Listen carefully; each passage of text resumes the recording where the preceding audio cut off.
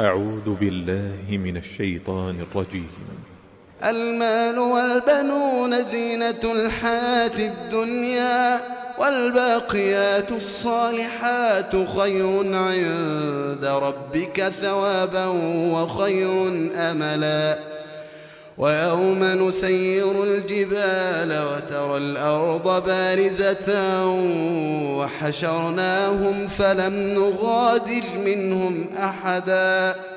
وعرضوا على ربك صفا لقد جئتمونا كما خلقناكم أول مرة. بل زعمتم أن لن نجعل لكم موعداً. ووضع الكتاب ووضع الكتاب فترى المجرمين مشفقين مما فيه ويقولون ويقولون يا ويلتنا ما لهذا الكتاب لا يغادر صغيرة ولا كبيرة إلا أحصاها ووجدوا ما عملوا حاضرا ولا يظلم ربك أحدا. بسم الله الرحمن الرحيم. السلام عليكم ورحمة الله وبركاته ومرحبا بكم في حلقة جديدة من اللقاء المفتوح. نرحب بجميع المشاركات في أي موضوعات ولكن قبل البدء في تلقي الاتصالات عندي مسألة مهمة وخطيرة تستوجب التعليق. نشرت هذا المقطع اليوم وهو كارثة بكل المقاييس وأكيد شفتوه عدد كبير من المتابعين أكيد شاهدوه حيث قامت معلمة في مدرسة بكندا بتوبيخ أحد الأطفال المسلمين طبعا لأنه حاول التهرب من الاحتفال بما يسمى شهر الفجر أو الفخر. شهر الفخر عشان الناس اللي مش عارفين بعض الناس والله على فكرة دي دي ميزة يعني إن أنتوا لو مش عارفين هذا الشهر هو شهر يحتفلون فيه بالشواذ كل عام في شهر يونيو. تقريبا هذا الشهر بالكامل العلامات التجارية المحلات الشوارع المؤسسات الحكومية المدارس كل مكان تعلق فيه هذه الأعلام وترفع. فهذا العام وكما توقعت وقلت أكثر من مرة وقال لي البعض أنت تبالغ قلت هذا العام سيختلف تماما عن الأعوام السابقة. هذا العام الاحتفالات مختلفة تماما ويعني شوفوا إحنا النهاردة مثلا يوم سبعة أو ستة الأمر يا جماعة يعني شيء شيء شيء مخيف.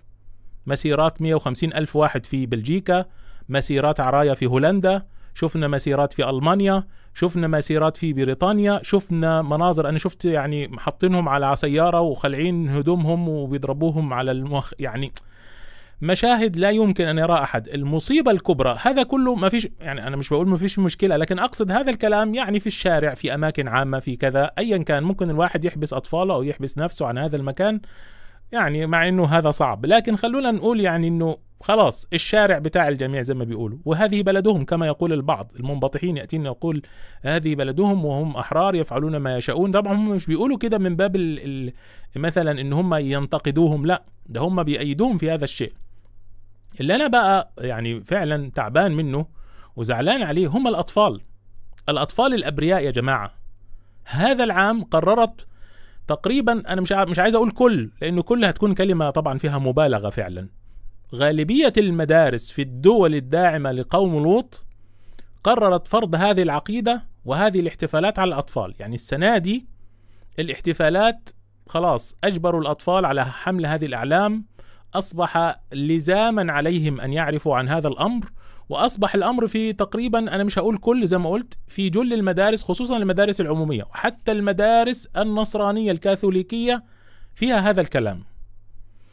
اللي حصل السنة دي هو برضو كان مفاجأة بالنسبة لهم لأنهم بيتعاملوا مع الأطفال هم بيتعاملوا مع فئة مستضعفة زي ما دايما بنقول إنه بعض الأطفال أمثال بطل اليوم وهو منصور بفطرتهم وبالتربية الحسنة إن شاء الله الجيدة يعني نحسب أن هذه الأسرة ربت هذا الطفل تربية صحيحة رفضوا هذا الأمر. والولد راح المدرسة بشكل طبيعي ربما ما لا يعلم أنه هيكون في احتفالات لأنه ما قالوا الاحتفالات يوم واحد فقط اللي هو يوم واحد يونيو. يبدو ان هم لا ده هم قالوا اللي هيفوت يوم 1 يونيو لأن حصل غياب 40% في في في كندا في بعض المدارس. أولياء الأمور اجتمعوا وقرروا تغييب الأطفال في هذا اليوم لأنه الاحتفالات ستكون صريحة سيحمل الأطفال الأعلام وستكون الاحتفالات. فاولياء الأمور قالوا إيه؟ لا يبقى كده بقية الأيام طبيعي. فالمهم الولد راح المدرسة بشكل طبيعي واليوم الدراسي كان ماشي زي الفل وطبعا الأعلام هذه أصبحت اعتيادية. الأعلام موضوعة طول الشهر يعني هذه طامة لوحدها إنه الولد يدخل ويطلع من الباب ويشوف الأعلام هذه. المصيبة الكبرى إن هم حاولوا إجبار الطفل على الاحتفال. بدأوا الاحتفال فجأة فهذا الولد طلب من المعلمة أن يذهب لتناول الغداء. يعني ولد ذكي ما شاء الله أسأل الله سبحانه وتعالى أن يبارك فيه. طلب من المعلمة أن يذهب للغداء. فطبعا هي فهمت على طول مباشرة انه هذا الطفل يريد التهرب من الاحتفال وبدأت في الصراخ عليه. بدل ما أقعد أحكي لكم وعشان الناس اللي ما شافوش الفيديو خلونا نشوف الفيديو ثم نعلق عليه بعد ذلك خلونا نشوف الفيديو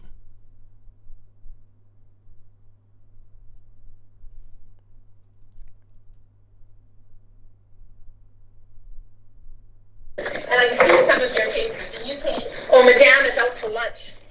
Well, I'll tell you, you are out to lunch if you think it's access, accept, uh, acceptable to not show up because you think if there's some pride activities going on at school, right? Oh, that's fine.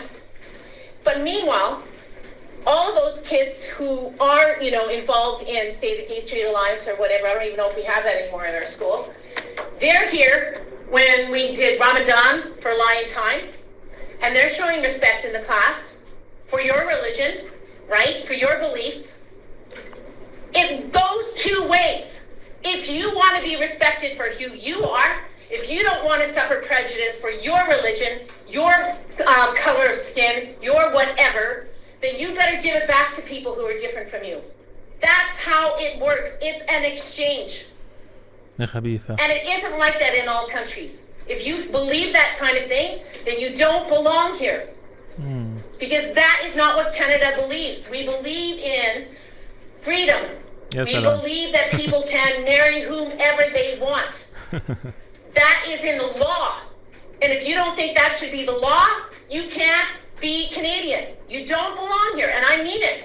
I really mean it. And it's not a joke, Mansour. It, I, it just makes me angry. يا سلام إنا لله وإنا إليه راجعون شفتم يا جماعة هذا الكلام هذا الكلام خطير جدا ولكنه مهم صراحة هذا الكلام مهم واعتراف مهم جدا لمن كانوا ينكرون أن هؤلاء يضمرون هذا الأمر في أنفسهم. لكن آه، أولا وقبل كل شيء قبل أن أعلق على الفيديو أوجه تحية خاصة للبطل. هو مش طفل بصراحة هو بطل. البطل منصور أو الشبل منصور هذا الشاب أو الطفل أو أيا كان. أسأل الله سبحانه وتعالى أن يبارك فيه. ما شاء الله. يعني لولا أنه ثابت على موقفه وكان ذكي لما تعرض لكل هذا. وأعتقد أنه في أطفال كثر تعرضوا لهذا الإرهاب والتزموا أو جلسوا واحتفلوا وأهالي كثر لا يعلمون ما يتعرض له الأطفال بالمناسبة يعني. يعني هذا التسجيل أيضا أنا أحيي الذي سجل مش عارف منصور ولا غيره. هذا التسجيل أيضا تسريب هذا التسجيل كان مهم جدا لأنه غالبية الأحداث هذه والمحادثات اللي بتحصل بين الطلاب وبين المعلمين والمعلمات للأسف الشديد لا تصل إلينا والله اللي بيحكيه الأطفال لينا في الواتساب الشباب والأطفال اللي بيحكوه لنا مع الأسر في بعضهم مع الأسر أو مباشرة بيتواصلوا معنا إنه فعلا بيتعرضوا لفتن كبيرة ومناقشات وشبهات في الدين طعن في الدين يسمعون كلاما بذيئا عن النبي صلى الله عليه وسلم ولا يستطيعون ال- الإنكار.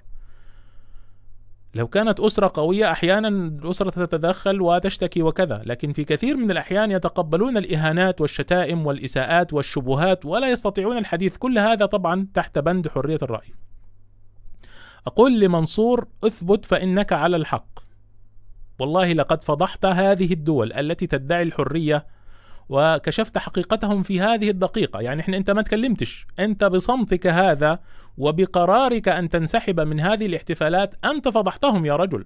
إزاي نثبت أن هؤلاء يعتنقون الفاشية؟ ها هي دي الفاشية. يعني مش عايز حد يعرف لي الفاشية. يعني هذا الدين الجديد أصبح فاشية على الناس أصبح يجبر الناس عليه. وقريبا ال- العام هذا زي ما أنتم شايفين الجنون سوف يزداد في العام القادم. فنقول له جزاك الله خيرا. وأنا بصراحة مش عارف أقول إيه. أنا محتار في موضوع الأهل. أحييهم أم لا؟ يعني الأسرة هل مثلا يعني أحييهم على هذه التربية وهم يستحقون ذلك؟ لأنهم بصراحة كون إنه يكون في طفل بهذا الثبات وإنه يا جماعة الطفل يا جماعة برضه في النهاية برضه كائن يعني سبحان الله مستضعف. فلولا التربية الحسنة لما ثبت هذا الطفل لما جعل هذه المرأة تغضب. نعم لازم تغضب طبعا تغضب لدينها الجديد. فالله المستعان. لكن أيضا في نفس الوقت لولا هذه الأسرة لما وجد هذا الطفل في هذا المكان. صراحة خلوني أكون صريح بدون مجاملات. لكن عموما من باب الإنصاف نقول لهم جزاكم الله خيرا ونشجع جميع الأسر على التربية الحسنة حتى في أي مكان من اضطر ما نعرفش أصلا أنا ما أعرفش ظروفهم إيه صراحة. أسأل الله سبحانه وتعالى أن يبارك فيهم على هذه التربية. لكن والله من الواجب على الجميع ألا يتركوا الأطفال في هذه الأماكن. خلاص يا جماعة حد بقى يقعد يجادلني ويقول لي أنت تضخم. لا يجب أن تتركوا الأطفال عند هؤلاء الأوباش.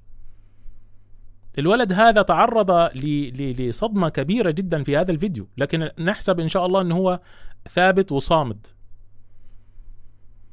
أنا أدعو جميع المشاهدين أنهم يدخلوا على التليجرام. أنا بعد البث ده هنشر الفيديو هحمله وأنزله على قناة تليجرام الخاصة بالقناة. أرجوكم يا جماعة حملوا الفيديو ابعتوه على الواتساب انشروا هذا الفيديو يستحق أن يراه الملايين الذين يفتنون في السفر للغرب الذين يعيشون في الغرب. حتى الأجانب حتى الناس اللي هم غير المسلمين العلمانيين الليبراليين أقيموا عليهم الحجة.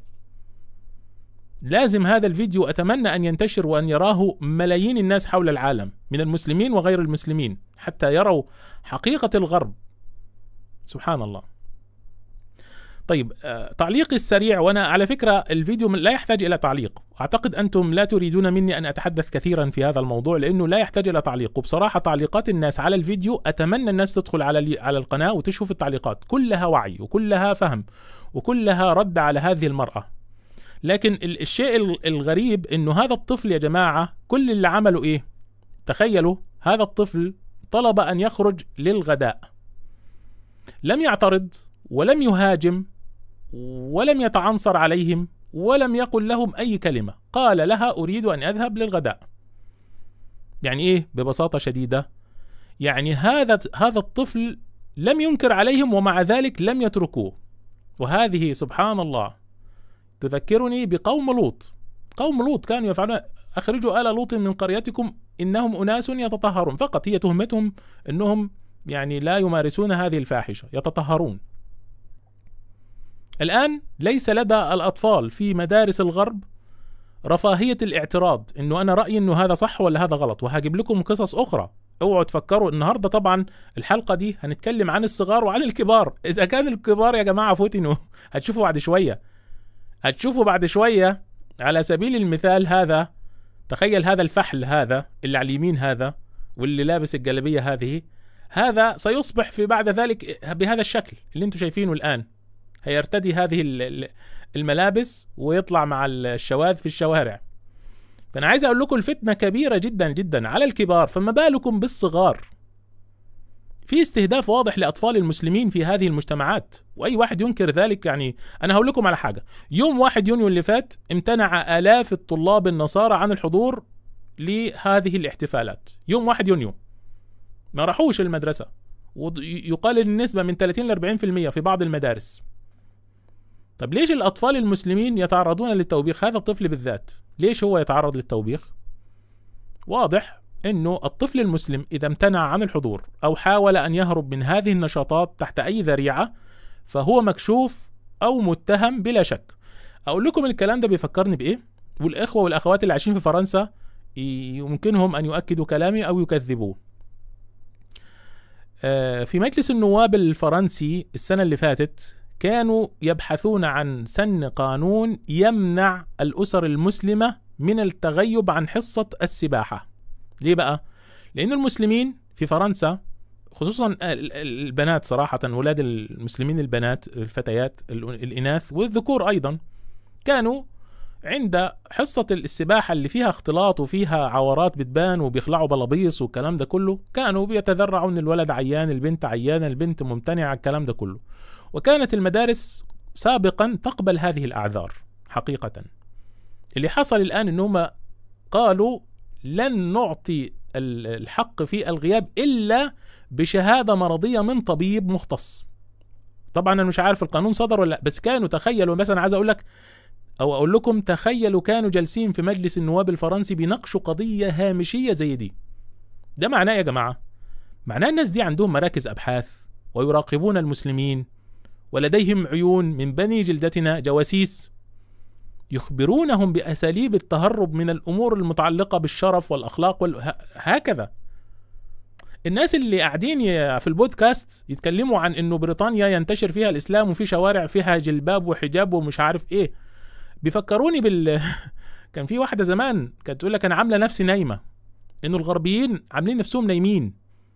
شايفين الإسلام ينتشر اللي هم حاربوا وبذلوا فيه دماء كثيرة جدا وذهب كثير جدا هيتركوه ينتشر بدون سلاح. يعني هم أصلا أقاموا حروب صليبية وعملوا حملات في بلادنا وغزوا بلاد المسلمين بسبب منع حكم الإسلام. هيسمحوا بانتشار الإسلام وسيطرة المسلمين على مجتمعاتهم؟ أنا لا أقول أنهم يعني يستطيعون إيقاف الإسلام تماما بس هم هيخلوا المسلمون أقلية على طول. وإذا بس حسوا إنه الإسلام سوف يكون أغلبية ستكون هناك أنا لا أريد أن أتنبأ بشيء لكن أنا بقول لكم لن يسمحوا بذلك. خلاص.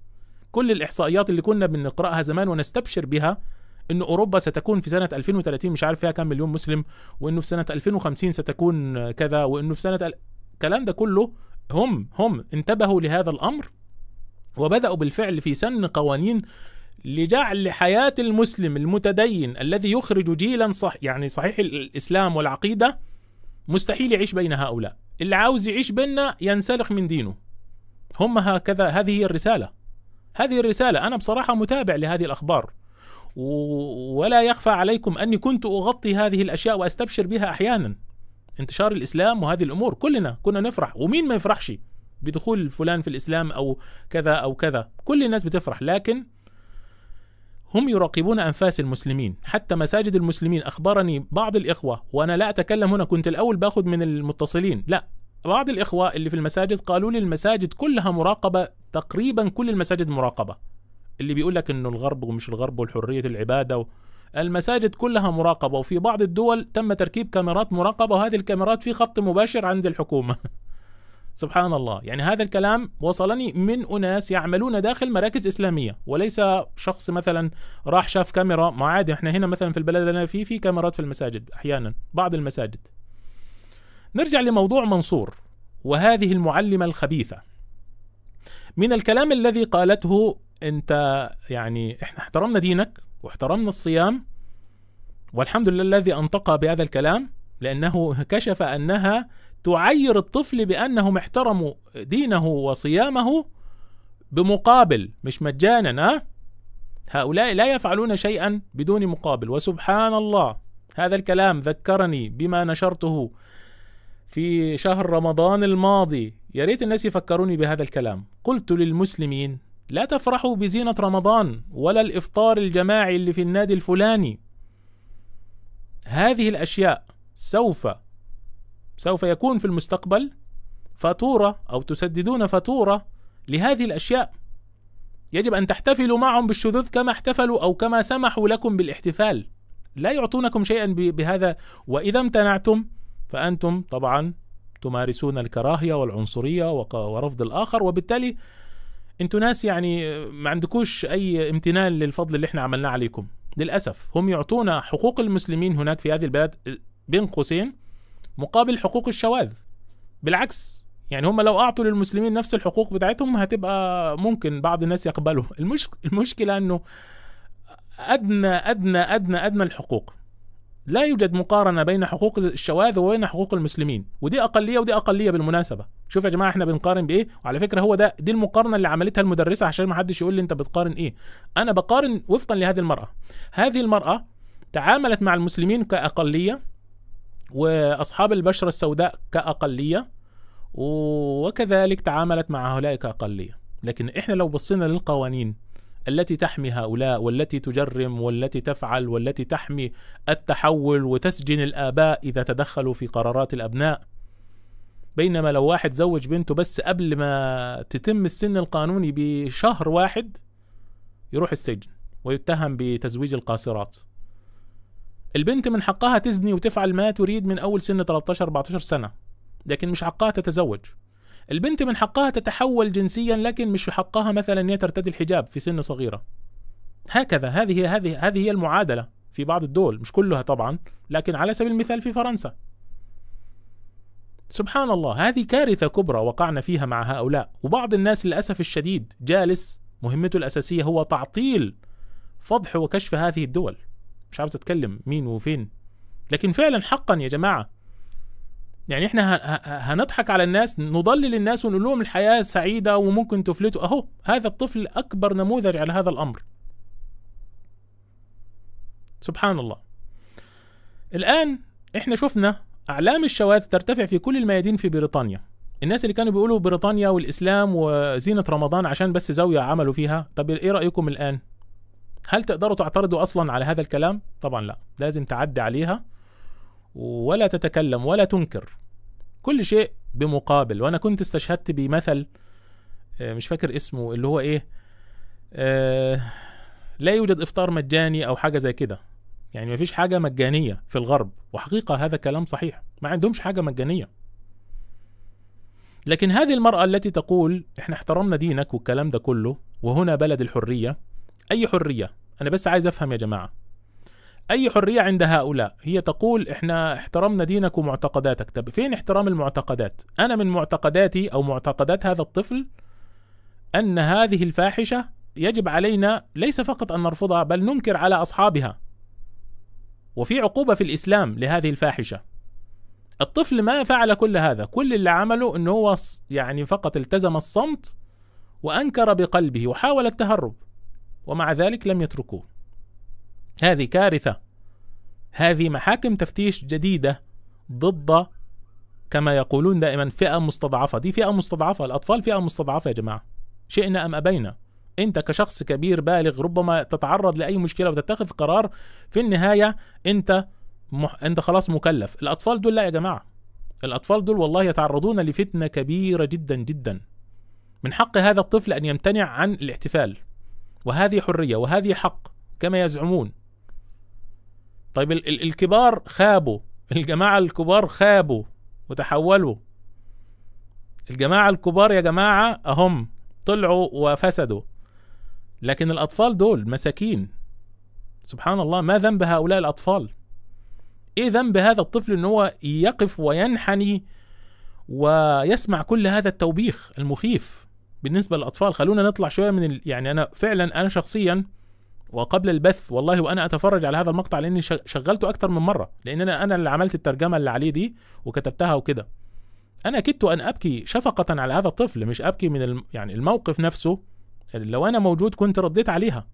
لكن أنا كدت أن أبكي شفقة على هذا الطفل الصغير. توبيخ مخيف حصل لهذا الولد. وسماعه لهذه الكلمات. ويا ترى بقى الأب والأم هل متوقعين إنه يفضل كده دايما؟ ثابت؟ سبحان الله. إذا كان الكبار خابوا وفسدوا.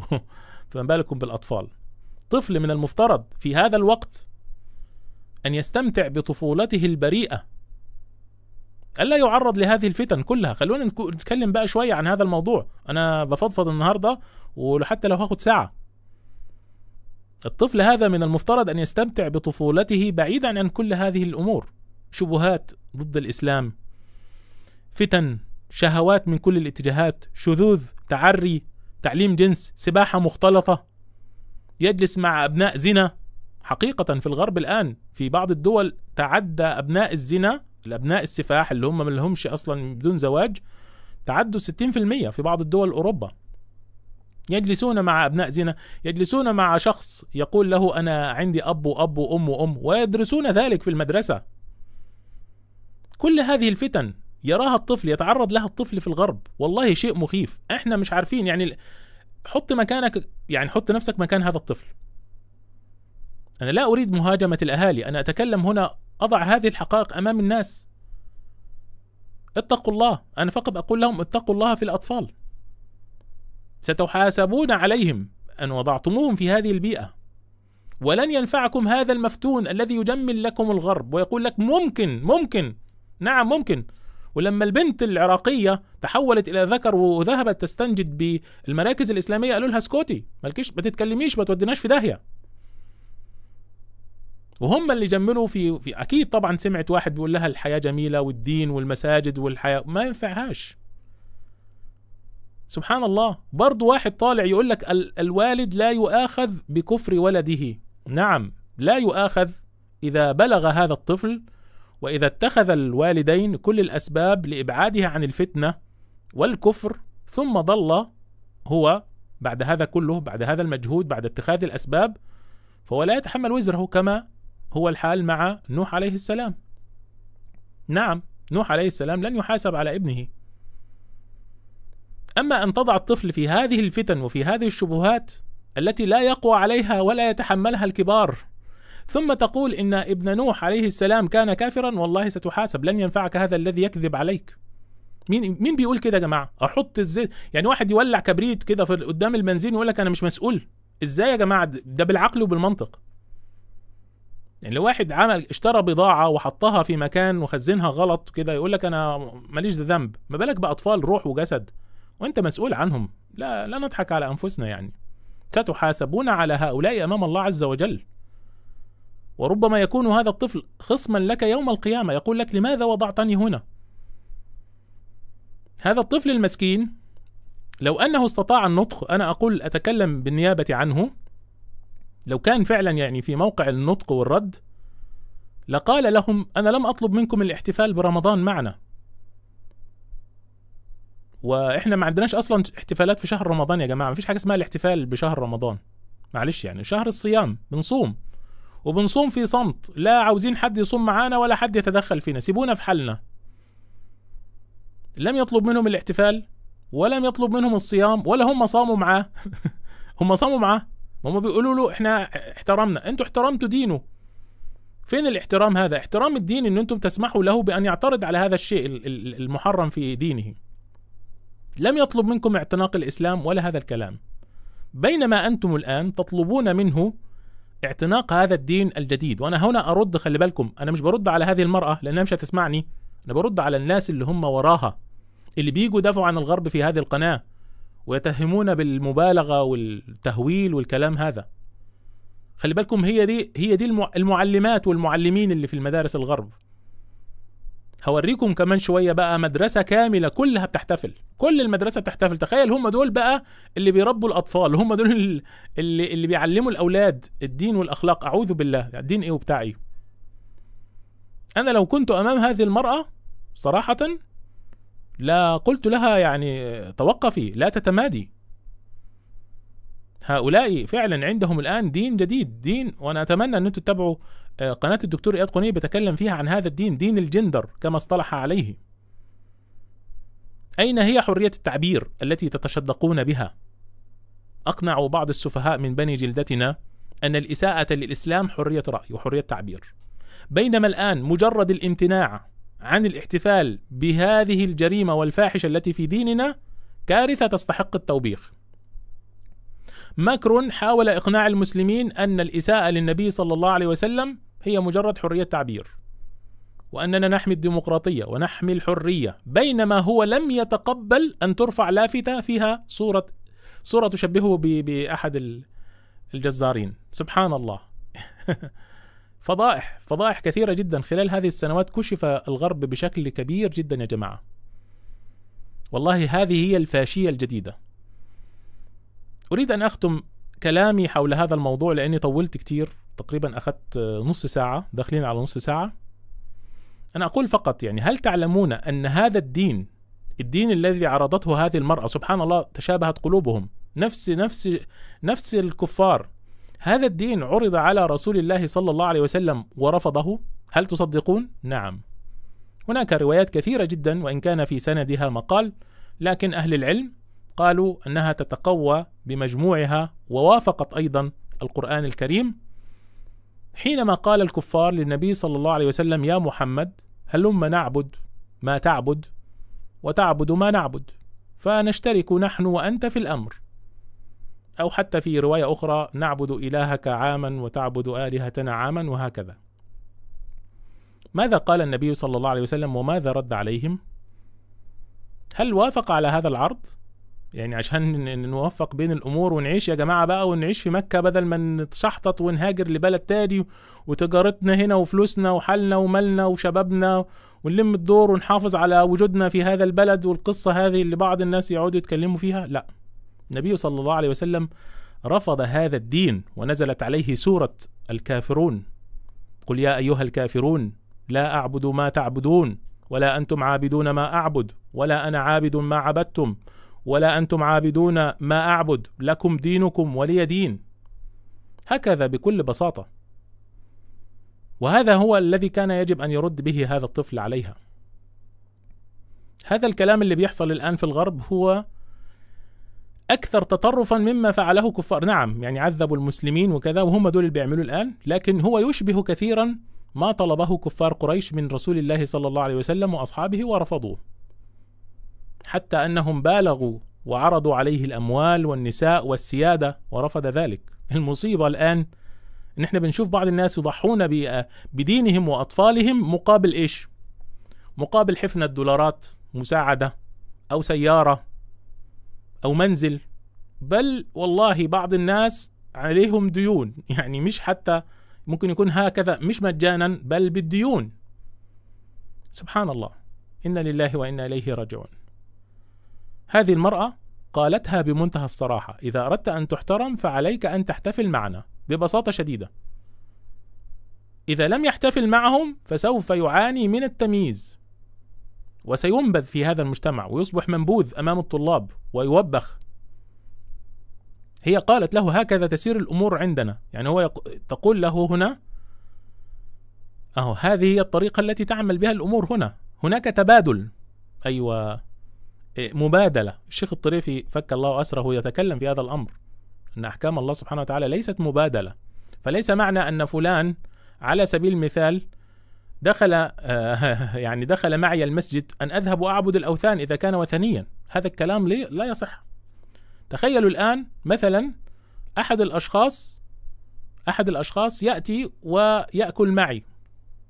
طبعا أنا مش بتكلم طبعا عن الحكم الآن. طبعا إحنا ما لا يأكل طعام المسلم إلا تقي. لكن نفترض جدلا يعني.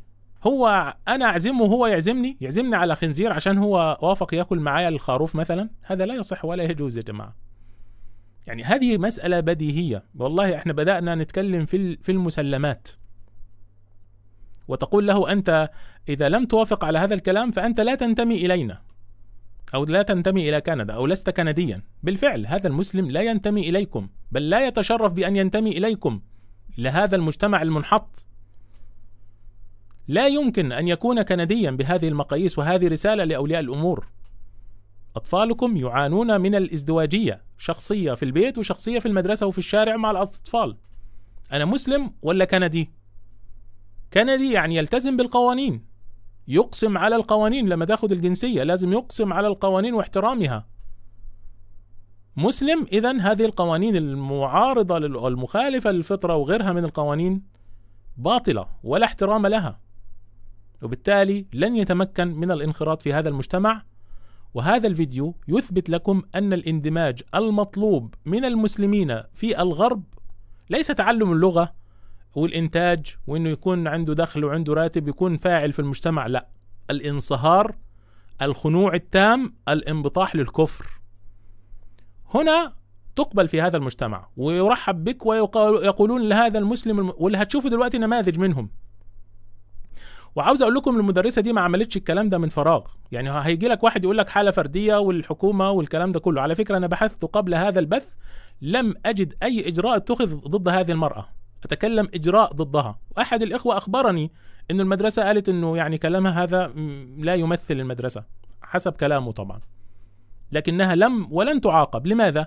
لأنه قبل الأحداث دي هنا وزير التعليم أعلنها صريحة. هنا في أونتاريو يقول بمنتهى الصراحة أن أنتم لازم نحتفل بهذا الأمر ولازم يكون في شبه فرض.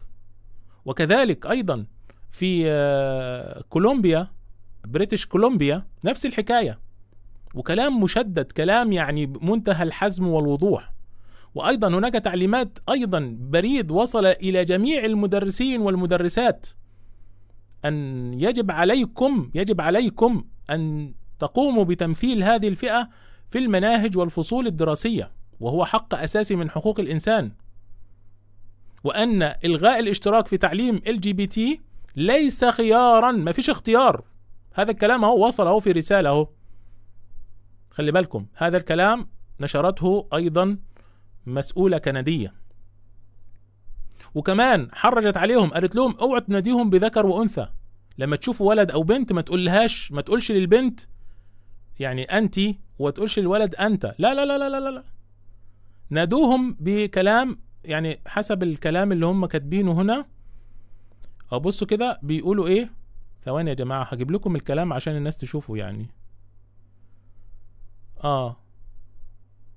Using uh, uh, they with them they with them يعني ما تقولهوش ما تكلم ما تخاطبش الولد والبنت بصيغة المذكر والمؤنث.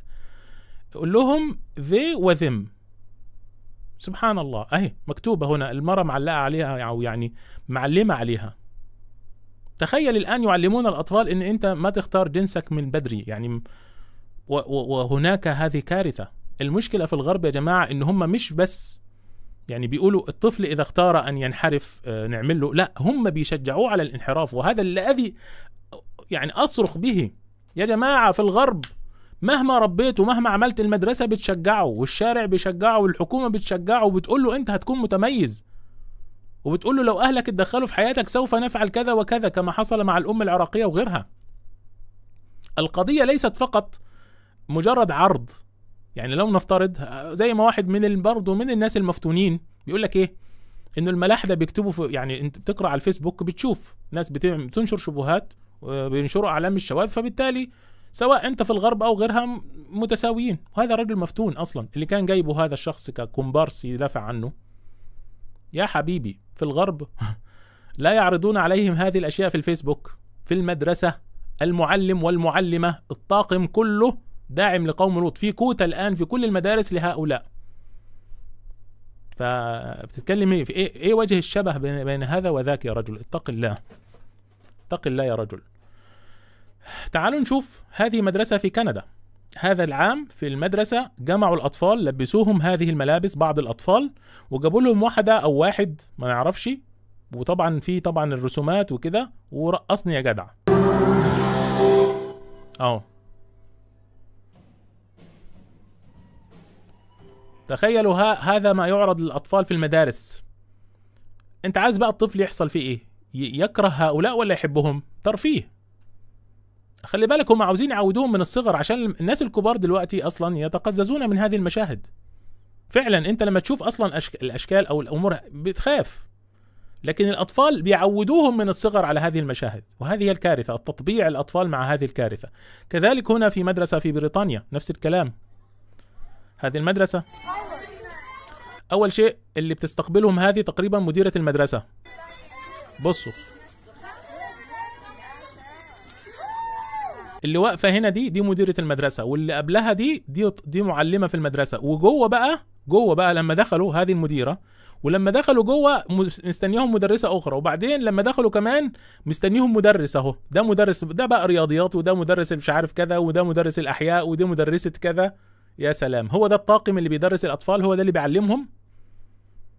يعني لا ال- ال- الناس اللي هم ال- اللي بيتصلوا علينا ويقول لك إيه أنا هغيب ابني يوم الاحتفالات هذه أو حتى هغيبه ما. على فكرة أنت ما تقدرش تغيبه شهر كامل.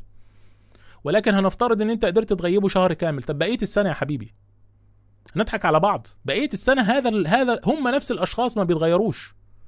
نفس الأشخاص اللي بيحتفلوا الآن وبيشجعوا الأطفال على هذا الأمر هم نفسهم ما بيتغيروش. نفس الأشخاص اللي بيرقصوا لهم وبيقولوا له وبيرفعوا لهم الإعلام دول هم نفسهم ما بيتغيروش هم بيعتنقوا. هم يؤمنون بهذه الإيديولوجية مش نفاق. ده هم مؤمنين بيها وعاوزين ينشروها ومخلصين ليها كمان وعندهم كل الدعم والقانون كله معاهم. وإنت إذا اعترضت عليهم سوف تتهم بالكراهية و... و... وتعليم الأطفال ال... ال... ال... عدم ال- الحب والقصص هذه. يا سلام. هذه هذه مسألة أنا فقط أنبه الناس على هذه النقطة.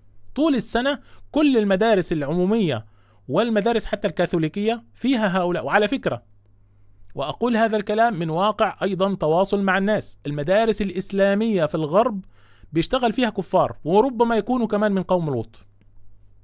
وما بيعلنوش ذلك عن أنفسهم بوضوح يعني. وعلى فكرة التعيينات هناك أصلا ليست ليس المعيار فيها أنه يكون مسلم. لا بالشهادة أو بال بالرابط تقريبا بالسي في أو اللي هو موقع لينكد إن. تخيلوا. وهذا الكلام حصل اخت اتصلت علينا وقالت دخلت مدارس استراليا وقالت إنه في بعض الموظفين مش مسلمين بل هم أيضا أعداء للإسلام. وكذلك في أمريكا وفي في الدول الأخرى وفي كندا. هذا هذه هذه هذه يعني الناس المدارس النهارده أنا كتبت منشور على على اليوتيوب. المدارس الإسلامية في الغرب عددها قليل جدا جدا في الدول الغربية. عدد المدارس الإسلامية قليل لا يستوعب واحد في المية من المسلمين من إجمالي أطفال المسلمين. والمشكلة إنها غالية كمان. فأنا اقترحت عليهم قلت لهم طالما أنتوا بقى بتقولوا إحنا مضطرين مع إنه ده كان المفروض يحصل من زمان لماذا لا يتم إنشاء مئات المدارس بحيث تستطيع هذه المدارس استيعاب أطفال المسلمين فيها؟ وتكون الأجور رمزية مش بهذه بهذا الجشع. في إحدى الأخوات قالت والله المدرسة الإسلامية بعثوا لي إنذار ان, إن ما دفعتش المصاريف هيطردوا البنت. وقالوا لي إنه ده it's business والله هذه رسالة وصلتني. it's business هذا هذا تجارة. فإذا كانوا فعلا يعني أنا بشوف كل يوم مساجد بعض المساجد مش كلها ولكن كتير. بينشروا كل يوم فعاليات بيستضيفوا فيها الكفار ويعملوا لهم كيكة ولحمة وأكل وحاجات وخضار ورز ولوبيا وفاصوليا وحاجات جميلة. كل يوم يعزموهم عشان يألفوا قلبهم وعشان يكشفوا إن المسلمين دول ناس متسامحين ويستضيفوا فلان الفلاني ويستضيفوا المنشد الفلاني ويعملوا فعاليات وسهرات ومص... كل شيء. وأخبرني أحد الإخوة أيضا إنه المساجد بعض المساجد لديها ملايين الدولارات من التبرعات وتضعها في البنوك والربوية حتى. لماذا لا تستثمر هذه الأموال في إنشاء مدارس إسلامية؟ إنشاء مدارس إسلامية وتكون متوفرة لجميع أطفال المسلمين. أنا عارف الأخ اللي هيكتب لي بعد البث من الإخوة اللي هم نفس عقليتي برضه هيقولوا لي لن يسمحوا لهم بذلك. يا أخي جربوا. ينالوا شرف التجربة. أنا عارف إنه هذا الكلام المفروض كان يحصل من زمان في أيام التراخي الغربي أيام الحرية فعلا قبل أن تستفحل هذه المسألة لأنه دلوقتي لو حسوا إنه المسلمين هيتعزلوا هيقولوا ببساطة يجب عليكم أن تدرسوا هذه المادة. زي ما عملوا فين؟ في بريطانيا وفي استراليا. فرضوا على المدارس الدينية تدريس الجنس. لما لقوا الناس بدأت تنتشر هذه المدارس قال لك طيب أنتوا برضه ملزمين بتدريس الجنس. تحت إشراف وزارة التعليم أو التربية والتعليم. شوف الخبثاء. فهنوصل هنلف ونلف وندور ونرقع ونلعب ونتلاعب ون... ونضحك على بعض وفي الآخر ستصل إلى نتيجة واحدة أن أخرج هؤلاء الأطفال من هذه البيئة. أضعف الإيمان أنك تبعث أطفالك إلى بلد مسلم يتعلمون القرآن و... ولا تلوث فطرتهم في هذه المرحلة. على الأقل أقل أضعف الإيمان. وسبحان الله. أيضا هنا هذه الواقعة تكلمت عنها للأسف الشديد. هذه الواقعة تتعلق بطفلة طفلة صغيرة أجبرت على الانخراط في احتفالات قوم لوط. هذه الطفلة أجبرت على حمل الأعلام والاحتفال معهم وأسرة هذه الطفلة نصرانية متدينة. فهذه المدرسة أخذت البنت وأعطتها الأعلام وخرجت واحتفلت معهم ورجعت على بيتها فأهلها عرفوا فراحوا اعترضوا وقالوا إن أنتم انتهكتوا حقوقنا الدينية والأبوية وذهبوا إلى المحكمة فحكمت المحكمة لصالح المدرسة وقالت من حقهم أن يفعلوا ذلك وليس من حقكم الاعتراض. هذا الخبر موجود أهو. بيكتبوا كده العنوان ده في جوجل. CBN News وعلى فكرة العنوان ده فيه الأم والدة الطفلة في لقاء مع قناة CBN News يعني خبر أكيد يعني. وبعدين نروح بعيد ليه؟ خلونا نسمع بس ال- ال- الذي تنبأ له هذا ال- الكوميدي الإيرلندي ديف ألين لما يعني هذا الفيديو في التسعينات لما كان بيتكلم عن موضوع الشذوذ وتدرج الغرب. سبحان الله يا جماعة ال ال ال ال ال هؤلاء بنوا هذه الدول على إيش؟ على الأهواء. ما عندهمش وحي ثابت ما عندهمش قواعد ما عندهمش قيم. حتى إنه ال- الفيلسوف الفرنسي آه، أونفري على ما أذكر قال إحنا المجتمع الفرنسي ليس لديه شرف. لم يبقى أحد لديه شرف إلا المسلمين. قال هكذا. شوفوا ماذا قال هذا الرجل وتعالوا نشوف بعض الوقائع التي تتعلق بمحاكم التفتيش للأطفال التي تقول لكم بكل وضوح أنه لا يمكن ترك الأطفال ي- ينكرون أو يسكتون. اسمعوا. I was talking to a man the other day who was leaving, decided to immigrate, decided to leave this country. And I said, Why are you leaving? He said, It's homosexuality. I said, What are you talking about? He said, 300 years ago, if you were homosexual, you were hanged, drawn, and quartered. 100 years ago, if you were homosexual, you were hanged. 50 years ago, if you were homosexual, you were flogged and given 20 years in prison.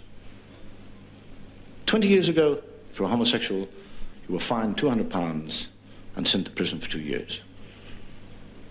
Five years ago, if you were homosexual, you had a small fine and you were pardoned. Got off with a warning. I said, well, what are you leaving for? He said, I'm going before they make it compulsory. وفعلا الامر الان لم يعد نكته ولم يعد للتندر بل اصبح حقيقه، الان يفرض الشذوذ على الاطفال وعلى الكبار حتى في المدارس والشوارع والاعلام، بعض الناس يا جماعة عندهم تصور انه فرض الشذوذ ان انت يخليك ماشي في الشارع يقلعك الهدوم ويعمل معاك فاحشة قوم لوط. أنتوا وده اللي برضه اخينا ده بيقول لك يعني لم يفرض بعد إنه المسلمين يمارسوا الشذوذ، يا راجل يا راجل انت مستني لما يكرهوا المسلمين على ممارسة؟ يا حبيبي هذا يفرض على الأطفال ويفرض على الكبار. تراه في العمل. حتى اليوم وصلتني رسالة من أحد الإخوة الذين يعملون في شركة في ألمانيا وقالوا الشركة عقدت اجتماعات عن ضرورة احترام هؤلاء وأن أنتم لازم تلتزموا ولازم يكون عندكم كذا. حتى الناس اللي شغالين في الشركات بدأوا الآن يضعوا لهم الأعلام ويأمرونهم باحترامها ويعني ربما تأييدها. يعني المسألة مش بس أطفال الكبار. ففرض الشذوذ بهذه الطريقة هو أصلا عين الإكراه. أنا أصلا أنت ما عندكش اختيار إن أنت ترفضه. كده إكراه. فكرة إن هو يكون موجود ومفيش رأي آخر هو ده الإكراه بعينه. أنا ما أعرفش الإكراه. إذا كان الإكراه في عند في دماغ البعض ها؟ إنه أنت يقلعك الهدوم ويعمل فيك هذا هذه مصيبة سودة. لا. الإكراه هو أنه يكرهك على اعتناق هذا الدين كما فعلوا مع هذا الطفل منصور. أسأل الله سبحانه وتعالى له الثبات. شوفوا اللي عملوه بقى إيه. هنا مثلا أنا هسمعكم مكالمة أول شيء خبر من من الولايات المتحدة الأمريكية. أو ثواني هشوف الخبر لأنه طبعا أنا جمعت لكم الأخبار. هذا هذا هذا الشاب تعالوا كده هذا الطالب وهذا الكلام قديم. هذا الكلام سنة 2018 إحدى الكليات قامت بطرد هذا الشاب لأنه قال لا يوجد سوى ذكر وأنثى. سبحان الله. يعني هو فقط لم يقل شيئا سوى أنه قال لا يوجد سوى ذكر وأنثى وصدق في ذلك. هذا ما عاشت عليه البشرية سنوات طويلة جدا إلا من شذ ويعني حتى قوم لوط لا أعتقد أنهم قالوا آه، يعني كانوا يعترضون على فكرة ذكر وأنثى يعني لا يوجد سوى ذكر وأنثى. نعم هم كانوا يمارسون الفاحشة مع الذكور لكنهم كانوا يقرون بوجود الذكر والأنثى. الآن لا قال لك النهارده في ذكر وأنثى و non-binary ومش عارف إيه وإيه وإيه ال جي بي تي كيو آر إس تي يو في دبليو إكس واي يعني أشياء غريبة. يعني شفت الأعلام بتاعتهم 500 آه، هوية. لا يوجد من بين هذه الهويات ال- ال- الهوية اللي هو الذكر والأنثى.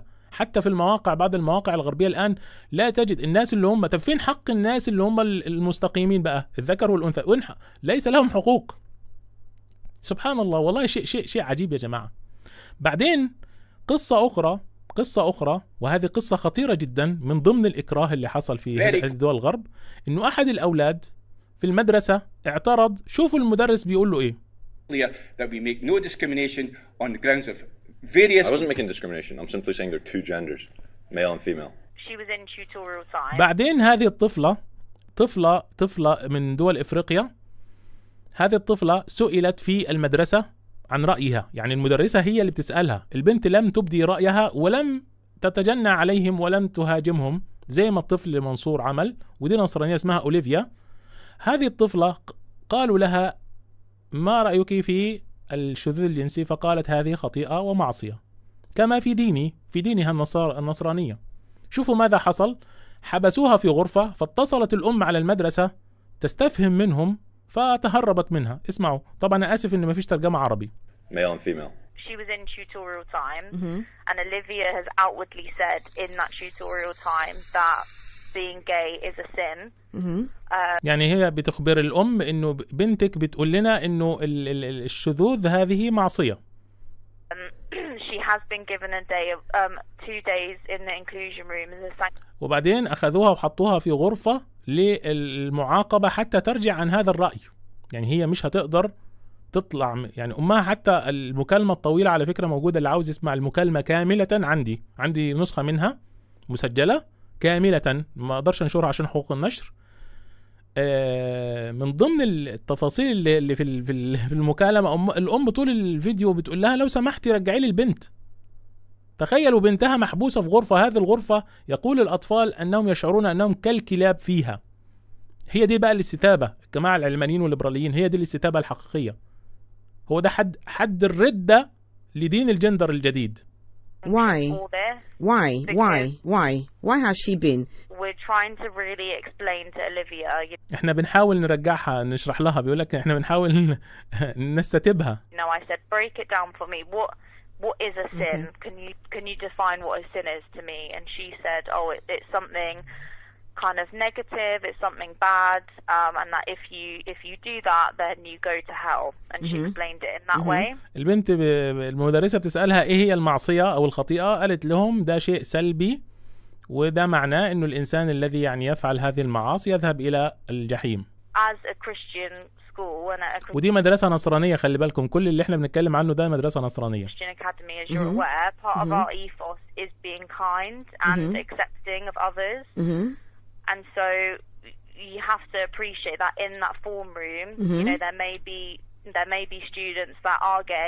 طبعا هم خايفين على شعور الطلاب الآخرين يعني.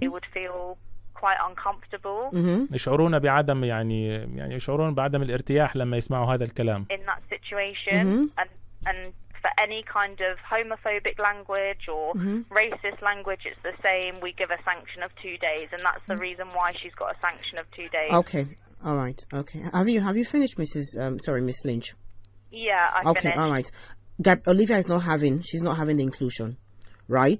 First of all, right, she was asked, تقول لها انتوا سألتوها right, her opinion, سألتوها عن رأيها and she gave her honest opinion. وهي أجابت بكل صراحة عن رأيها عاوزين تعلموا الأطفال النفاق يعني ده من عندنا I, for one, do not um, encourage any form of um, discrimination. نحن لا نشجع على أي جرائم أو أي شيء أو كراهية والأمور هذه right? And, and and again, when she said it's a sin, she's coming from um, um, a religious perspective. يعني بتقول لها لما تقول لك إن دي معصية دي أصلا آه، يعني ده بسبب معتقداتها الدينية. طبعا أنا بترجم بالمعنى العام وليس بالحرف يعني. As opposed to you know okay this is what i personally feel. Now if um um miss mr barney is that his name did not want Yeah. an opinion then he should not have asked her. تقول لها لو أنتوا مش عاوزين تسمعوا رأيها ما كنتوش سألتوها.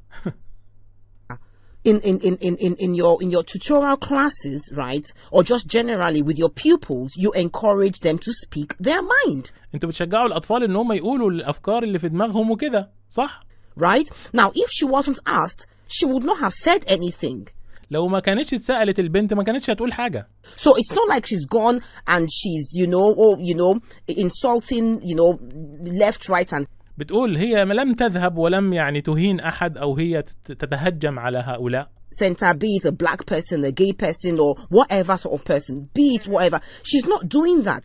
She's giving her honest opinion, and she's being هي لم تفعل هذا كله فقط هي اعطت رايها الصريح يعني أو ال- اتكلمت بصراحه penalized for that. So why is she being penalized for, answering a question honestly? So I'm sorry, but I'm refusing that she does not do any inclusion. It's not fair. So لم ترتكب اي خطيئه ولم ترتكب اي خطا وهذا غير عادل So, Miss, I'm sorry if I'm sounding this way, but I'm, I'm, I'm not happy and I'm upset that Olivia, right, um, um, is being given inclusion, which she's not going to do. And I will put my foot down on that because she answered a question honestly. Then why, then why ask her? Why ask her? تسالوها ليه أنتوا بتسالوها ليه I understand your point of view. However, in line with our academy Okay, all right. policy, we Mhm. do give two days. She's not. She's not going to observe it. So please, can you send my Okay. child home? She is not can you send my child home بتقول لها ابعتي لي بنتي البيت يا لطيف يا لطيف يا جماعة هي دي بقى محاكم التفتيش ولا ولا في حاجة تانية هل رايتم انحطاط اكبر من ذلك هل التحذير من هذه الاشياء يا جماعة مبالغه هل هذا أصبح هو الدين الجديد للغرب لدرجة إن الناتو هيحرك طائراته وقواته من أجل الحرب لأجله؟ هل أنا الذي قمت بسن القوانين كلها في هذا الموضوع خلال السنوات الماضية؟ أنا اللي جبت الأطفال وحكمتهم أنا اللي صنعت هذه المادة ولا هم اللي صنعوها وإحنا بنعلق عليها. والله حزين جدا أن يأتينا الهجوم من بني جلدتنا الذين يتكلمون بألسنتنا ويحاولون التشغيب والتشويش. ولا أدري والله هل هؤلاء استؤجروا لإيقاف هذه الحملات لأنه دولة السويد على سبيل المثال لم تستطع أن تفعل معنا شيئا فضحناها فضحت. ثم جاءت بعدها دولة النرويج وفضحها فيلم هندي. ثم الآن تكشف الأحداث في كندا وفي بريطانيا. لمصلحة من؟ يأتي من يحاول أن يصف الناس بالتشدد والتكفير وأنهم يفعلون كذا ويبالغون ويقولوك ما لم تقله. لمصلحة من؟ عشان بنحذر من هذه الأشياء والله بئس هذا العمل الذي تفعلون. والله كارثة. أنا حزين طبعا على هذا الأمر بالمناسبة. ولسه عندي في جعبة الكثير له. لكن إحنا مش فاضيين عندنا قضايا أخرى. وال... و... ومحبة للجمهور لا أريد أن أتمادى في هذا الموضوع الرد والرد الآخر. لكن عندي ردود كثيرة على موضوعات كثيرة وعندي استدراكات وعندي تعقيب وتعقبات على هؤلاء. بس خلونا نكمل في مشروعنا. Going to observe it. Now, now, let me ask you a question. It's a, it's a faith school, right? And, and, and, and you try to like, you know, and I'm just paraphrasing now, balance different and accommodate different, um, um, um, um, you know, um, should I say individuals, right? With sexual orientation, which is fine, which is fine. But let's not forget that she goes to church. It's in the Bible. So what else? What if... بتقول لها يعني هي البنت في مدرسة كاثوليكية وبتروح الكنيسة أو هي يعني بتتكلم عن دينها يعني بصفة عامة أنا مش مش فاهم 100% الكلام. It's a faith school. Then what I... هذه مدرسة عقائدية Faith. يعني هذا المفروض إن هي مدرسة نصرانية. Then, what, then what is being preached on here? So she's not making this up herself for God's sake. I'm going to have to end this conversation you, now because I really don't appreciate your time. No, no, no, no. Okay, you, you don't appreciate. Okay, all right. It's not, it's not a productive it's not, It's not a productive conversation, I've right? I've informed you of the incident. I'm okay. Okay, she's not. She's not going to observe it. She's not going it's to observe. it. So please, can you send that? She's not going to observe it. Can you please send my child home? She's not going to okay, observe it, please. I'll speak to you soon. Okay, bye. قفلت معاها الخط وهربت منها لما بدأت تسألها ودي مدرسة والبنت عبرت عن عقيدتها والكلام ده كله قفلت معاها الخط شفت يا جماعة طبعا طبعا كلنا برضو فاكرين ال- الشهر ال- شهر مارس الماضي تقريبا الولد اللي اتقبض عليه في كندا high school student in Canada has been arrested for declaring that men and women are different. Josh Alexander attended St. Joseph's High School, Catholic High School in Renfrew, Ontario.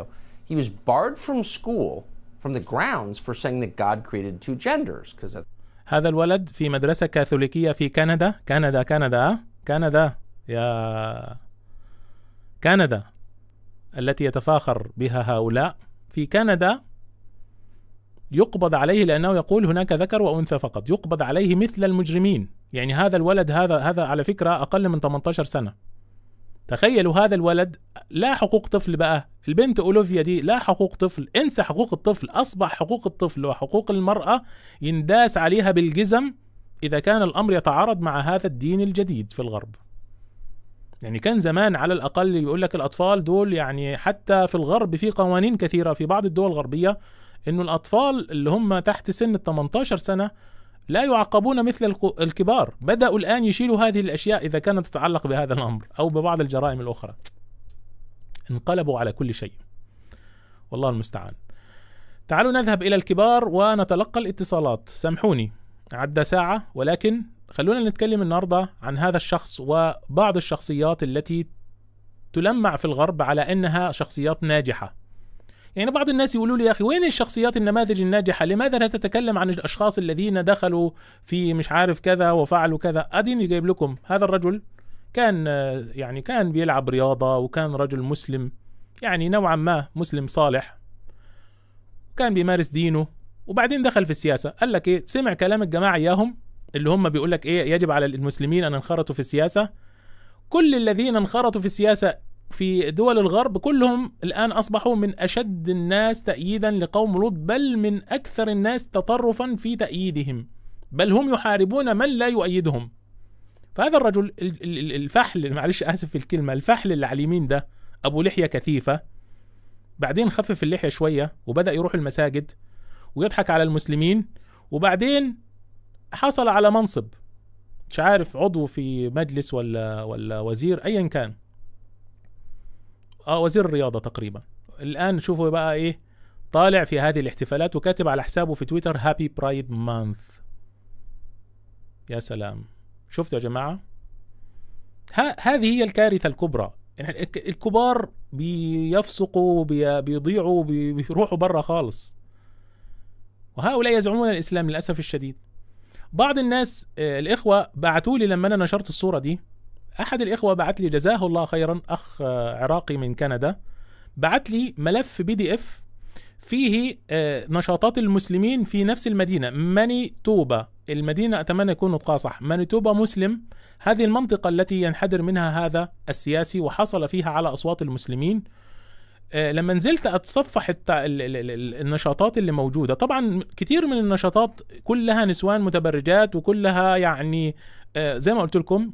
ولكن هنا يتفاخرون بهذا الشخص أهو اسمه أبي خان اللي هو ده صاحب هذا الحساب أبي خان.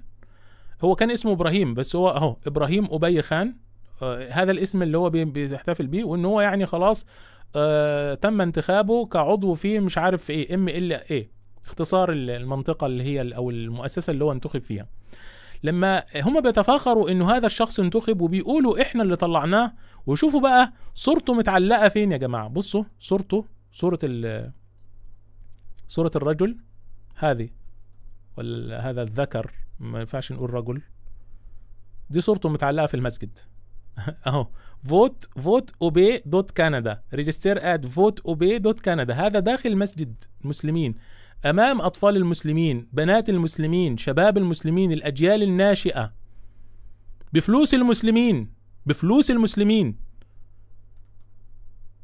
ولما نيجي نتكلم يقول لك والله انت مش فاهم حاجة والسياسة و... طيب أنا مش فاهم في السياسة أنا لا أعلم شيئا في السياسة يبيح للإنسان أن يرتدي هذه الملابس وينزل بها بل يحارب من يرفض هذا الأمر وي- ويكون متشدد جدا. لا أعلم. وهو بصوا بيوزع هو نفسه بيوزع بصوا آه، أبي خان helping to hand out إفطار at the ويفرلي موسك بيوزع ال- التمور والأكل على الناس قبل الفطار في رمضان. شفتوا يا جماعة؟ إنا لله وإنا إليه راجعون. هذا ببساطة شديدة هي دي النماذج اللي هم بيقدموها لنا.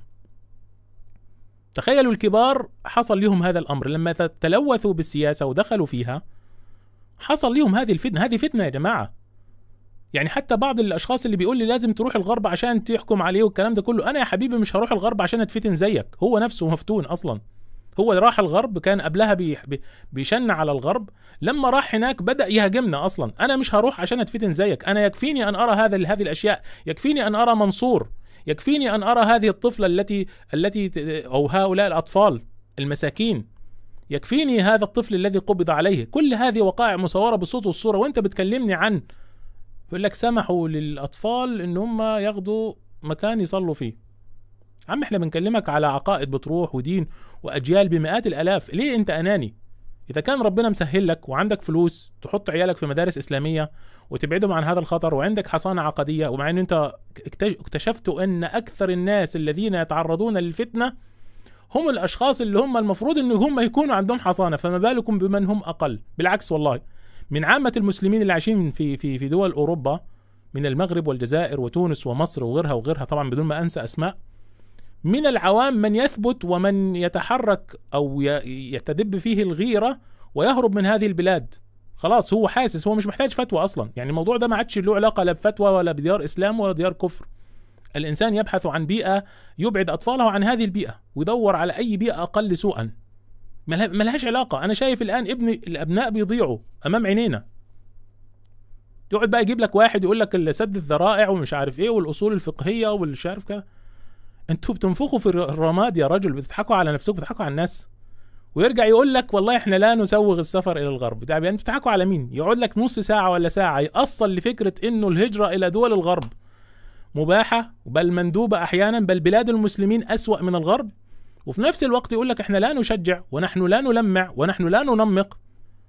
يعني من ضمن الأشياء بصراحة لا أخفيكم سرا لازم أتكلم في هذه النقطة. ما كنتش عاوز أذكر هذا الأمر بس لازم أذكره. ولازم أحذر الناس من هؤلاء. بصراحة الشخص هذا الذي أتى به أحمد دعدوش آه، أنا نسيت امبارح إن أنا يعني أعرض هذا الكلام له. كلام قبيح جدا عن بلاد المسلمين. الكلام اللي قاله كلام قبيح جدا وفيه اتهام لأعراض المسلمين والمسلمات. اسمعوا ماذا يقول. لا شك أن الفاحشة في الغرب يعني منتشرة بشكل أكبر ولكن مثلا يعني مثلا الذين يريدون مثلا الزنا وكذا ربما في الغرب يحتاج حتى يعني لإنفاق مبلغ أكبر حتى ولو كان يعني توفير الجو يعني سهلا. بينما هنا في البلدان العربية قد لا يحتاج إلى إلا إلى مبلغ بسيط جدا. تخيلوا هذا الكلام. يعني أنا أنا مش هتأول كلامه. هو بيقول لك إنه في الغرب تحتاج إلى مبلغ أكبر حتى تقع في الزنا وهذا الكلام غير صحيح. يا راجل بالسيجارة يا راجل. أنا شفت فيديو بالسيجارة بياخد البنت بال بال بخبطه إيد بحتة شوكولاتة بحتة عسلية بياخد البنت ويروح على الفندق. الزنا أسهل مما يكون في الغرب والعياذ بالله. أنت الآن تقول بمعنى كلامك في الدول العربية أن المرأة المسلمة أرخص من من العاهرة الغربية. اللي هم مرمين في الشوارع هناك. اللي عاملين لهم بتارين في الشوارع وتسعيرة رخيصة جدا أو عاملين لهم ابلكيشنز بالساعة وبالدقيقة. والناس دي يا جماعة هم دول اللي بيقولوا لنا لازم تكونوا منصفين مع الغرب لكنهم يجلدون بلاد المسلمين ويشوهون صورة الإسلام والمسلمين والمسلمات. وما عندوش مشكلة إن هو يقول لك إن المسلمين أرخص من الكفار في الدعارة والزنا والأمور هذه. هو ده اللي بيطالبك بالإنصاف. بيقول لك أنت لو ما أنصفتش الغرب الملاحده هيزعلوا هي هي هيحسوا إن أنت بتفتري عليهم. يعني أنت خايف على شعور الملاحدة ومش بتراعي شعورنا إحنا كمسلمين. ونازل طحن والشذوذ في الدول العربية والإسلامية أكثر من الغرب بدون أي إحصائيات ولا أي شيء. عندما يتكلمون عن المسلمين لا يراعون لا إحصائيات ولا شعور المسلمين وعندما يتكلمون عن الغرب يطالبون بالإنصاف والعدل وعدم المبالغة والنبي صلى الله عليه وسلم قال كذا وعمرو بن العاص قال كذا. هو ده التلاعب بالدين ما شوف ما شفتش حاجة غير كده. بصوا هنا كمان بيقول لكم حاجة تانية مضحكة تضحك الثكلى اسمعوا. مثلا وكذلك ربما الحصول على الخمر لا أدري أو تلك الأشياء في الغرب قد يحتاج إلى كلفة. بينما هنا قد يجدها بثمن أرخص. فهل في هذه الحالة مثلا فهل نقول بأن الشهوات صارت هنا أسهل من الغرب ومنه يجب الهجرة من هنا إلى الغرب؟ والله يا جماعة هذا كذب. الخمر في الغرب أرخص من الماء يا رجل. الخمر في بلادنا أنا أنت عرفت منين بقى أن المرأة أو المسلمات في بلادنا وأنت بتتكلم مع أحمد دعدوش عرفت منين إن المسلمات أرخص من العاهرات اللي في الغرب؟ يعني أنت رحت بيوت الدعارة يعني استكشفت هذا الأمر. يعني أحمد دعدوش بيقول لك في الفيديو اللي هو عمله السابق بيقول لك أنا شفت بعين الشذوذ في بلاد المسلمين أكثر من الدول الكفر. هنا. هنا هنا يقول هذا الكلام مثلا هنا. هذه البلاد فإذا هذه جنة الدجال. أما في بلاد الإسلام نفسها لو كان الشذوذ منتشر في بعض الدول كما رأيت بعيني كما رأيت بعيني في بعض الدول مش في بعض المناطق. اسمعوا ماذا يقول. في بعض الدول كما رأيت بعيني أكثر من بلاد الكفر فهذه ليست مشكلة المهم أنه بلاد التوحيد هذه تبقى بلاد التوحيد والأسماء والصفات فيها على العقيدة الصحيحة. شوفوا الهمز واللمز وشوفوا الأسلوب الخبيث. يعني أنتم أنا لما قلت عنكم أنكم خوارج على بلاد المسلمين ومداخل مع الغرب لم أكذب عليكم يا رجل لم أفتري عليكم. أنا لم أفتري عليكم عندما قلت أنكم مداخل مع الكفار مع بلاد الكفر. وخوارج على ديار المسلمين مش خوارج طالعين بالسيف. لا تعدلون في الكلام على بلاد المسلمين. يا رجل الخمر في بلاد المسلمين أرخص من الغرب. المرأة المسلمة أو المرأة العربية عشان ما يقولكش أصلا ما كانش على المسلمات قصدي يا عم المرأة العربية أرخص من العاهرة الغربية؟ اللي بتتباع في, في البتارين في الشوارع؟ وكيف استطعت أن تستشف ذلك؟ وأن تقدر ذلك وتقول أن هذا أرخص أو أغلى والخمر أرخص أو أغلى. أي واحد عايش في الغرب وأحمد دعدوش سمح له أن يقول ذلك لأن الكلام على هواه. يسمح له بذلك. إذا كان الكلام على هواه ويخدم الفكرة الأساسية اللي فيها طبعا إنه إنه الحياة في بلاد المسلمين زيها زي دول الغرب بالعكس ربما يكون أسوأ كمان. فيسمح له بهذه الطعونات الواضحة جدا في بلاد المسلمين. إحنا مشكلتنا مع هؤلاء مشكلة عميقة جدا. مشكلة خطيرة جدا.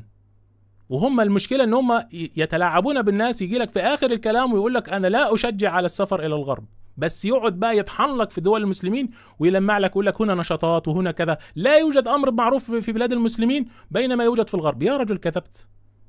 بل العكس لا يوجد حتى إنكار باللسان في الغرب. يوجد عندنا إنكار في غالبية الأشياء. عدا الحاكم عدا السياسة. زي ما أنتم سكتتم عن الشذوذ وعن الأمور هذه الخبيثة كما قلت أنت في فيديو لك هنا على سبيل المثال أنت قلت أهو. لذلك أقول من يريد أن يجرب يجرب ويخبرنا. ما هي النتيجة؟ لا أقول يعترض على السلطة ولكن يجرب أن ينكر المنكر فيها. في الذي ينكر المنكر في بلادنا والله إذا خارج نطاق السلطة نعم لا يوجد اي مشكلة معه. بلده فقط. ثم نقارن ما يحدث معه وما ما يحدث معنا نحن في بلاد الكفر عندما نستطيع أن نخرج وندعو للإسلام مع استثناءات خطوط حمر نعرفها. لا تنتقد إسرائيل ولا تنتقد اليهود تحديدا ولا قوس قزح. إحنا عارفين هذا خط أحمر لا يمكن الاقتراب منه. طيب أنت اقعد في بلاد المسلمين ولا تنتقد الحاكم وانكر المنكر زي ما أنت عاوز أمر بالمعروف. موجود. في الغرب لا تستطيع أن تنكر على أطفالك. ابنك لو عاوز يتحول ليس لك الحق في أن تمنعه. البنت والعياذ بالله إذا جاءت بعشيقها إلى المنزل لا تستطيع أن تقول لها عيب. الزوجة لو أرادت أن تهدم المنزل لا تستطيع أن لا يوجد شيء يعني يوقفها القانون كله معاها لا تستطيع أن تنزل الشارع وتقول لهؤلاء الذين يقبل بعضهم بعضا ذكورا وذكورا وإناثا وإناثا أو واحد بيعمل علاقة فاحشة في الشارع لا تستطيع أن تقول له حرام. بالعكس أنا أقدر أقول الكلام ده في بلدنا. بل لو أنا شاكك إنه هذا إنه هذا اللي جالس مع البنت بس مجرد جلسة حاسس إنه هو في ريبة بروح أنكر عليه أقول له إيه أنتوا قاعدين كده بتعملوا إيه؟ وده حصل. نعم لا ننكر إنه عندنا عندنا فساد وعندنا موبقات وعندنا كل شيء بس لم نصل إلى حالة الغرب. اتق الله يا رجل اتقوا الله. والله هذا الكلام ستحاسبون عليه كما أنكم تخوفون الناس وتقولون هذا وافترع أنتم تفترون على بلاد المسلمين. افتراء واضح وصريح. وتقولون إن المسلمات أرخص من الكافرات العاهرات. هذا لا يقوله أحد وأن الخمر في بلادنا أرخص من الغرب. الخمر يا رجل في أرخص. ده البيرة اللي هي آه اسف يعني زي بول الحمير أغلى من الخمر الفاخر في الغرب اللي بيتباع كده في كل يعني أنت تروح أي سوبر ماركت في الغرب لازم يكون فيه. حتى للأسف الشديد بعض ال ال الأماكن المسلمة للأسف الشديد أو اللي يعني أصحابها مسلمين بيبيعوا الخمرة والعياذ بالله بيقدموها. الخمر في الغرب زي كده بيفطروا الصبح والظهر والعصر في أي وقت. إحنا عندنا الشباب لما يحبوا يشربوا خمرة بتكون في سهرة في ليلة في في أماكن محددة مقننة بعيدة تماما عن العامة. وليست كما في الغرب. طيب أنا آسف يا جماعة إن أنا خرجت عن الموضوع. نرجع ونشوف الجماعة الكبار. ادا حمزة يعني إحنا اتكلمنا عن هذا الشخص وعندنا حمزة يوسف اللي تفاخر به البعض وطاروا هذا رئيس وزراء إسكتلندا. لسه منزل منشور من حوالي أربعة أيام برايد مانث 2023 وطبعا هذا من أشد المدافعين بل هو يهاجم اليمينيين اللي في الغرب النصارى. يعني تخيل النصارى اللي هم من أصول إسكتلندية هو بيهاجمهم بيقول لهم أنتم أنتم لا تحاربون الكراهية كما أحاربها وكما أعطي لهؤلاء بل سأضمن حق هؤلاء في الدستور. هو كان من ضمن وعوده الانتخابية تضمين حق هؤلاء في الدستور وهذا لم يحدث في تاريخ أوروبا كلها. منذ أن نشأت هذه الدول كلها لم يضمن هذا الحق في الحق يعني حق حسب زعمهم في الدستور في أي دولة. الآن هو هذا اللي بيقول لك مسلم أول رئيس وزراء مسلم في اسكتلندا هي دي النماذج. هي دي النماذج. عمدة لندن. عمران خان عمران خان إيه؟ آه كاذب خان. اسمه صادق خان. مش عارف إزاي صادق وخان. إزاي هو صادق وخان. هذا يقول لك أنا ما أقدرش أستنى. ما أقدرش أستنى يا جماعة عشان أنزل الشوارع. أنا عايز أنزل آه، آه، آه، جتتي بتاكلني. مش قادر أقعد في البيت. يا لطيف. آه، آه، هنا أيضا آه، إلهان عمر. مدام إلهان عمر إحدى النماذج ال- النساء النسويات ال- الناجحات في أمريكا في الكونغرس الأمريكي. تقول fight for LGBTQIA plus rights. قاتل أو دافع. ما أعرفش يعني فايت يا جماعة اللي هي القتال أعتقد القتال. وهنا كاتبه بقى كلام كتير جدا وإن هي مشروعها هذا الأمر والمساواة وإن إحنا هي هذه هذه ترامب أشد منها في هذا الموضوع أقرب للمسلمين منها.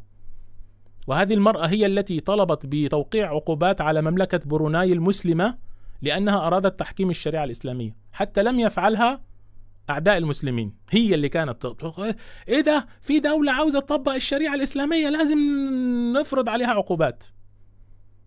تعالوا شوفوا هذه هنا. لما صدر قانون أو صدر يعني تعديل في المحكمة ال- العليا في أمريكا بتعديل قانون الإجهاض أو الدستور كان في حق الإجهاض إنه يعني أي ولاية تقرر ما تشاء قالت أنها سوف يعني عندها استعداد أي أي بتقول putting my body on the line أحط جسمي على المحك يعني الكلمة دي معناها إن أنا اضحي بحياتي إن أنا اضحي أقتل نفسي يعني زي ما بيقولوا من أجل استعادة هذا الحق اللي هو حق الإجهاض. إلهان عمر هذا حسابها الرسمي ولابسه لك حجاب لابسه لك حجاب ويقول لك ده ما بيبينش شعرها. يا راجل ده ليها صور وهي مبينة شعرها ولابسة الحلق و... عايز أخش في حياتها في شخصية لأن في ناس بيقولوا لي تكلم وزوجها. والراجل اللي متجوزته ماليش علاقة بالكلام ده كله. أنا ليا بالتصريحات بتاعتها مش هخش في حياتها الشخصية. هذه هذه رشيدة طليب. يا سلام حقوق القضية الفلسطينية. المدافعة عن القضية الفلسطينية. هذه المرأة عندما أصدرت المحكمة العليا آه، منع موضوع اللي هو حق الإجهاض المزعوم. ماذا قالت هذه المرأة؟ بصوا كده بتقول إيه؟ هذا سيعرض الأشخاص للخطر الذين يحتاجون إلى الوصول للإجهاض القانوني. يجب على مجلس الشيوخ تمرير مشروع مجلس النواب لتقنين يعني لإعادة الموضوع تاني. لا تزال عمليات الإجهاض الآمنة قانونية ويجب أن نحافظ عليها على هذا النحو. يا سلام. اسكتوا واحد بيقول لي هذه سياسة يا عم في ناس أصلا كفار لم يعترضوا على هذا القانون. ترامب لم يعترض بل هو اللي سعى لتغييره. كل حزب اليمين لم يعلقوا ولم يفعلوا. الحزب الديمقراطي مش كلهم طلعوا مصدرين دول يقول لك شوفوا المسلمين دول مسلم مسلمين إيه واي إسلام أعوذ بالله أن يكونوا من المسلمين. ده دي مسلمة دي مسلمة ده مسلم ده مسلم؟ والله أعوذ بالله. إن كان في إسلام بعد كده. ويقول لك انت بتكفر. أعوذ بالله ويكونوا مسلمين. والله لو كانوا مسلمين أنا لا أعرف شيئا عن الإسلام ولا عن الإيمان. إنا لله وإنا إليه راجعون. هنا لما صدر القانون هنا هنا بتقول لك إيه؟ عنقتني امرأة تبلغ من العمر سبعين عاما بشدة اليوم. لم تصدق أنها تسير مرة أخرى من أجل الحقوق الإنجابية. جايبة قصة واحدة يعني امرأة كبيرة في السن قابلتها في الشارع وحضنتها وبكت في صدرها. قالت لها مش معقول إحنا تاني هنفضل هنقاتل عشان نرجع الإجهاض؟ سلبوا مننا حقنا في الإجهاض في قتل ملايين الأجنة. تخيلوا اليوم اليوم النهاردة إحنا مثلا في في نص السنة حوالي 30 40 مليون طفل أجهضوا وقتلوا. ذكرتني برجل أسود كبير السن بالبكاء في العام الماضي غير مصدق أن أحفاده يسيرون من أجل نفس الحقوق التي ناضل من أجلها. هنا ليندا صرصور لابسة لك الحجاب وهذه نموذج من النسويات الناجحات في الولايات المتحدة الأمريكية. قالت دعوة لجميع النساء والحلفاء لازم ننزل الشوارع في مدينة نيويورك ردا على إلغاء قانون الإجهاض أو أو أو حق الإجهاض. هذا هذا هذا هذه هذه يعني لابسة حجاب وزي الفل. وما بتبينش شعرها على فكرة ما بتسيبش حتة حتى بتلبس بتاع كده تحت تحت الإشارب لابسة يعني غطا كده غطاء للرأس عشان ما يبانش الشعرية لو طلعت تبقى مصيبة. عورة يا جماعة. إنما الإجهاض والشذوذ الجنسي وال... وحق الجنس وحق أعوذ بالله. والله مش عارف الناس دي عايشة إزاي. أنا بستغرب يعني أنا ما أعرفش إزاي الإنسان يجتمع فيه هذه الأشياء. هنا أيضا الأستاذ عمر الغبرة. عمر الغبرة هذا سياسي من أصول سوريه يعمل وزيرا للمواصلات في الحكومة الكندية حكومة جاستن ترودو. نزل تهنئة من كام يوم هنا آه الكبرياء هو القبول والاحترام إنه يتعلق بالكرامة والمساواة يتعلق الامر بإنشاء مساحة آمنة للجميع ليكونوا على طبيعتهم كبرياء سعيد. هابي برايد نفس الشخص هذا من كم شهر؟ من كم شهر؟ نشر فيديو على حسابه الرسمي على فكرة هذا حساب حكومي عليه العلامة اللي هي الباهتة هذه حكوم حساب حكومي للتضامن مع النسويات. يعني هو بيقول لك لسه في عنف ضد المرأة في المجتمع الكندي. تخيل المجتمع الكندي اللي الراجل حقوقه أقل من حقوق الكلاب لسه كمان محتاجين. فلبسوا هو ووزراء الحكومة لبسوا آه، أحذية نساء بكعب عالي. بصوا بصوا شوفوا كده. وهم بيسقفوا لهم يا حلاوتك اتدلع يا حبيبي. أيوه يا بابا أيوه أيوه أيوه ها يلا يلا يلا يلا برافو برافو برافو. المشكلة إنه هو هو ده هو ده اللي هو الغبرة ده. ووراه واحد تاني أنا مش فاكر اسمه أحمد حسين ولا اسمه ده الراجل الأسمراني ده. الراجل ده اللي هو وزير تقريبا الإسكان اللي هو وراه ده هو كمان وزير أصلا من أصول صومالية اسمه أحمد حسين أو حاجة زي كده. تمام؟ وهم دول بيسقفوا لهم نسوان بيسقفوا لهم برافو عليكم. بصوا النسوان بيسقفوا لهم يلا يلا. يلا هالصيصان شو حلوين. والله حاجة تفضح والله حاجة مصيبة. لابسين لابسين بصوا بصوا لابسين بتاع كعب عالي أهو تحت بصوا. لابسين تحت كده كعب عالي. بالله عليكم في حاجة في السياسة تجبر الإنسان إن هو يعمل هذه الأشياء. هم دول يا جماعة قدوة الأطفال وهم دول بقى نماذج النجاح الباهر في السياسة اللي دخلها المسلمين في الغرب. يلا يا جماعة شاركوا تروحوا وحطوا صوتكم وكذا وطلعوا فلان وفلان. الراجل اللي انتخبوه في منطقة اسمها ديربون ولا مش فاكر إيه في في أمريكا والمنطقة دي كل الناس بتشهد إنها فيها غالبية مسلمين. راحوا انتخبوا راحوا انتخبوا آه، واحد عشان يبقى هو الممثل بتاعهم. فلما اكتشفت الأهالي إنه في كتب للشذوذ الجنسي وكتب فاحشة في المدارس وراحوا يشتكوا وعملوا احتجاجات وخرج اليهود والنصارى والمسلمين. تفاجأوا بمن؟ مين بقى اللي وقف ضدهم؟ حذروا فزروا يا جماعة مين اللي وقف ضدهم ومين اللي حاربهم ومين اللي اتهمهم بالتطرف؟ هذا الممثل اللي اسمه حاجة عبد الله مش عارف إيه اسمه حاجة كده. اسمه عب... أحمد عبد الله ولا عبد الله مش عارف كده. تخيلوا. هي دي النماذج. البنت اللي قال لك جابت الأذان في منطقة مش عارف كذا دي داعمة لقوم لوط؟ أعمل لكم إيه؟ هاتوا لي أنتوا النماذج الناجحة الحقيقية من عندكم. يقول لك لازم ننخرط في السياسة ولازم نغير تغير إيه؟ ده اول ما بيخشوا السياسة بيتحولوا إلى شواذ. يعني أقل واحد فيهم داعم فقط. يعني بيخشوا السياسة بيطالبوا بحقوق. يعني صادق خان ده يا جماعة والله مصيبة. ده الراجل ده بيحارب أي شخص بس يكتب تغريدة ليس فيها مثلا تأييد.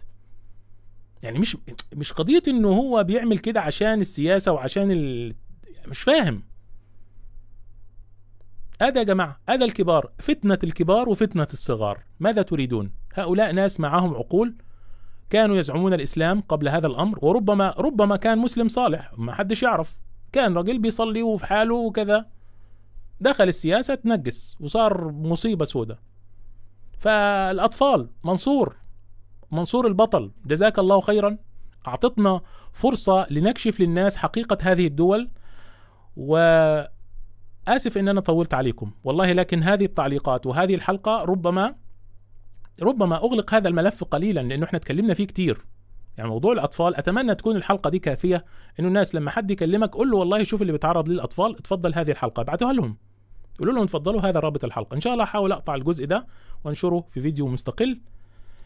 والآن نتلقى الاتصالات وربنا يسترها وتكون الاتصالات خفيفة علينا. معنا أول اتصال؟